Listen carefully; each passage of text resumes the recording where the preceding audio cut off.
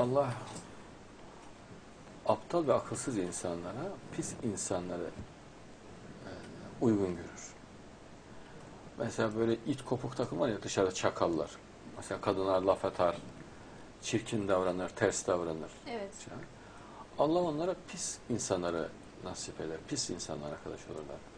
Değerli insanlar, yani akıllı insanlara Allah akıllı ve güzel insan. Bu, bu müzede dikkatlice bakırsanız siz bunu görürsünüz. Mesela kadın geçiyor, çok güzel bir kadın. Gidiyor ona köpek gibi bir laf atıyor. Onu mahcup edecek, onu tedirgin edecek bir söz söylüyor. Allah ona hep ters insanları musallat eder. Hep kötü insanları musallat eder. Halbuki kadın çok nazenin bir varlık, çok güzel bir varlık. Hep güzel söze layıktır.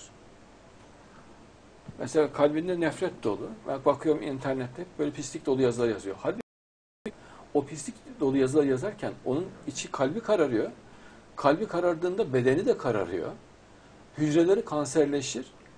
Yüzü çirkinleşir. Beyni erimeye başlar. Saçları dökülür. Hastalıklar verilir. içi kararır ve çok çok kötü bir ruh haline girer. O zannediyor ki hiçbir şey olmaz zannediyor. Yani öyle millete e, küfreder, hakaret eder. Hiçbir şey olmaz zannediyor.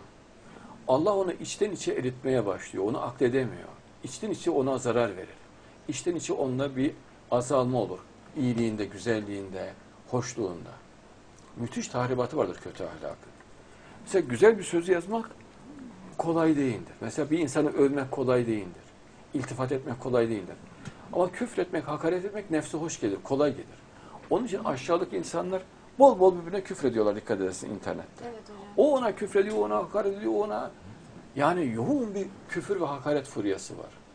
Ama güzel sözler çok nadir görüyorsunuz aralarda. İşte onlar mehdiyet ruhunun insanları. Güzel söz zordur. Güzel iltifat zordur.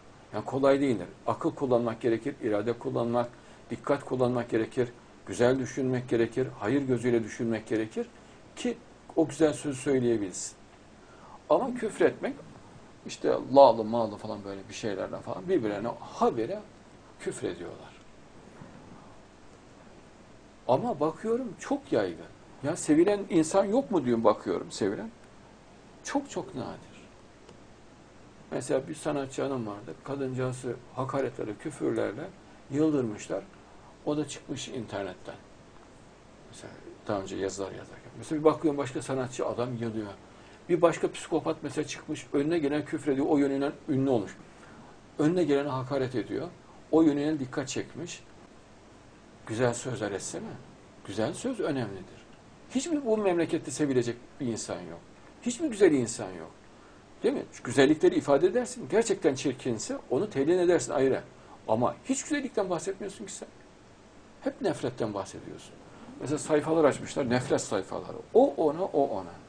Şeyh Nazım hocamıza, bilmem işte şu hocaya, bu hocaya, yok Yaşar Nuri Öztürk'e, şuna buna, herkese hakarete yönelik. Siyasilere, siyasi yöneticilere.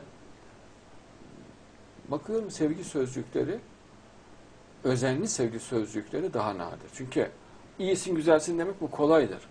Ama içten gelerek sevgiyi söylemek ve onu güzel sözlerle ifade etmek o kadar kolay değildir.